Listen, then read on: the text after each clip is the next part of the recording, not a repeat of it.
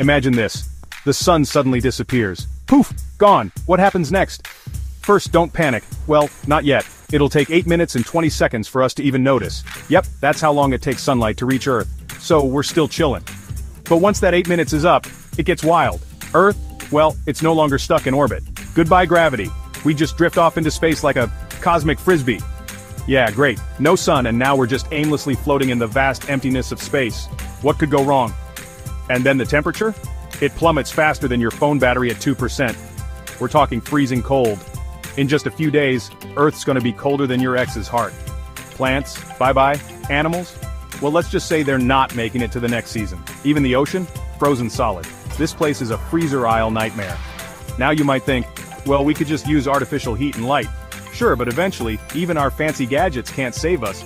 You can only microwave so many frozen dinners before the lights go out, you'd need some serious tech to survive, and even that would run out. Long story short, without the sun, Earth becomes a frozen, lifeless rock. It's game over for everyone. So next time you're complaining about a cloudy day, just remember, at least we still have the sun, and if it does ever disappear, well good luck explaining that to your Wi-Fi provider.